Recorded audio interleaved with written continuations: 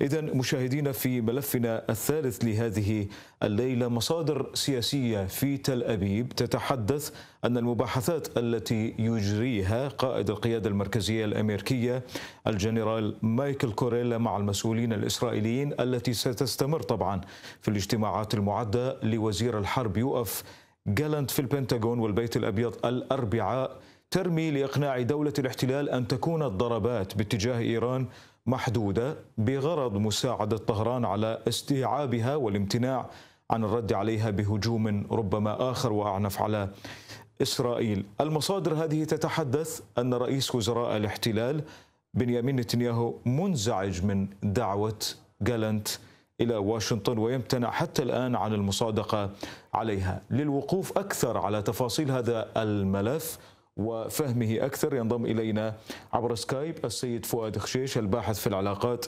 الدولية من بيروت. مرحبا بكم سيد فؤاد معنا. إلى أي مدى تراقبون حتى الآن إمكانية الرد الإسرائيلي على طهران خاصة بعد الرد الإيراني الأخير؟ وأيضا كيف يمكن أن يكون الرد الإسرائيلي خاصة في ظل ما المعطيات التي تتحدث عن أن الولايات المتحدة لا تمانع لكن أن يكون ردا محدودا.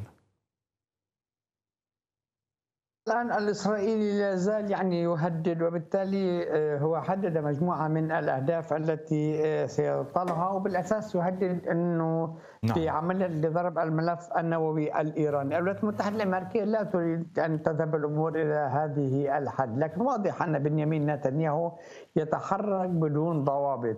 تحاول الولايات المتحدة الأمريكية أن يكون في حال يعني كان ردا اسرائيليا على يعني بأن لا يكون أن لا يطلع الملف المناطق النووية بل أهداف عسكرية قد ترد إيران بالحد الأدنى أو قد لا ترد. لكن من الواضح أن إيران أيضا كان ردا حاسما ألا وهو أن إيران حددت مجموعة من الأهداف التي ستطلع وهي أهداف حيوية، إذا نحن في أمام عملية يعني كما يقال على حد السكين، عملية نعم. عملية تهديد مباشر بين الطرفين، واضح الولايات المتحدة الأمريكية لا تريد أن تكون الضربة الأمريكية على أساس هناك مفاوضات يعني تجري مع.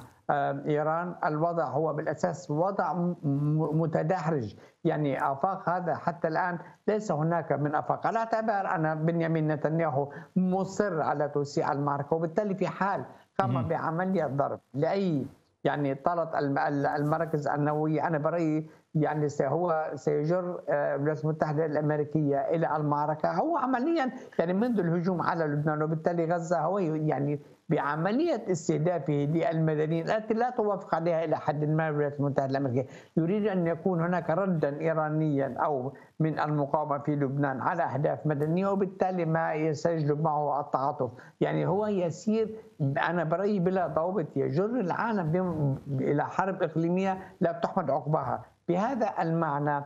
أنا برأيي الإيرانيون جاهزون للرد وحتى الآن يعني عملية عدم استبعاد جالنت حتى الآن في الولايات المتحدة الأمريكية. لأنه أنا أقول الولايات المتحدة الأمريكية لا تريد أن تجر المنطقة إلى هذا طيب. الحد. على كل حال سنرى الساعات المقبلة إلى أين ستؤول يعني الأمور على اعتبار أنه أصبحت الأمور بلا ضوابط وهي يعني خارج خارج كافة الأطر.